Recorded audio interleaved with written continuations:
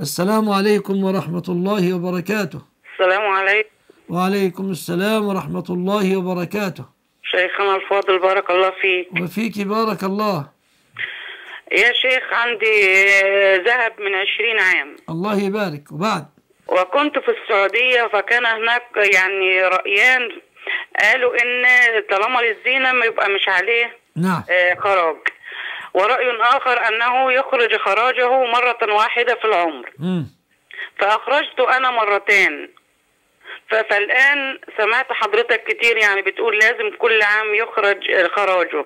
فماذا أفعل في الأعوام الماضية؟ عفى الله عنك فيما مضى وفيما هو آت زكي سنويا. آمين. فأولا ليس هناك أي دليل من الكتاب والسنة أقول وأؤكد للحنابلة وغيرهم ليس هناك أي دليل ثابت عن رسول الله عليه السلام أو من الكتاب العزيز بإسقاط الزكاة عن الحلي إلا أقوال بعض الصحابة رضي الله عنهم وهم ليسوا بمجمعين على إسقاطها. الذي استدلوا به ليس في الحلي زكاة حديث باطل غاية ما تمسكوا به بعد هذا الحديث الباطل أقوال بعض الصحابة ونصوص الكتاب العزيز والسنة المباركة عامة في الحلي وغيره. اسمعي الأدلة أو بعض الأدلة. قال الله تعالى والذين يكنزون الذهب والفضة ولا ينفقونها في سبيل الله فبشرهم بعذاب أليم.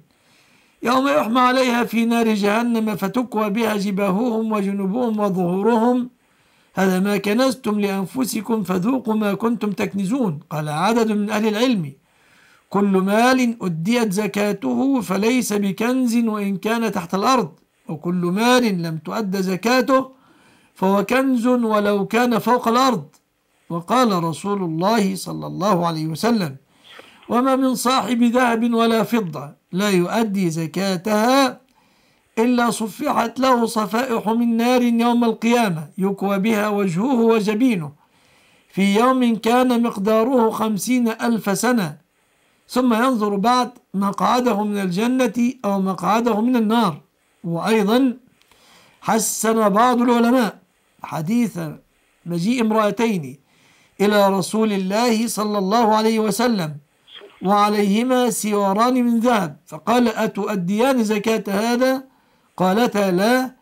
قال أتحبان أن يسوركم الله بسوار من نار يوم القيامة؟ أدي زكاته هذا الحديث الأصل أن سنده حسن وبعضهم يغمز فيه ولكن النصوص العامة أوكد وأثبت وأصح. وجه العلماء هؤلاء أقوال بعض الصحابة فقالوا منها آثار لم تثبت ومنها آثار لم تقيد ببلوغ النصاب. فحمل بعضهم بعد الآثار على عدم بلوغ النصاب وقالوا حتى الآثار التي فيها أنها لم تبلغ أنها بلغت النصاب ولم تزكى أقوال صحابة أو أقوال بعض الصحابة. ولا تعارض الكتاب العزيز ولا تقوى على معارضة السنة الثابتة الصحيحة كذلك. والله أعلم. ما فات عفى الله عما سلف.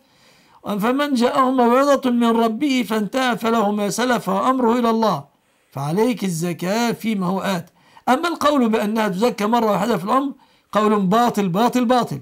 ولا دليل عليه إلا ما يؤثر عن واحد تابعي أظن الشعبي أو غيره ولا تقوم به بمثله حجة. والله أعلم. بارك الله فيك. وفيك